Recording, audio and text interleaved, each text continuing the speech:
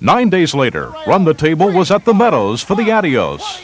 After taking his elimination, Run the Table came back to win the final over Jaguar Spur in 153 and 2 to duplicate the feat of his sire, who won the Adios in straight heats six years earlier.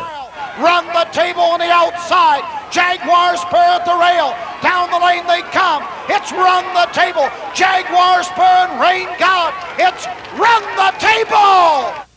Run the Table also was victorious in the $107,000 New Faces Series final at the Meadowlands, an $84,000 division of the Jug Preview at Scioto Downs, and defeated Call for Rain in an elimination for the Breeders' Crown.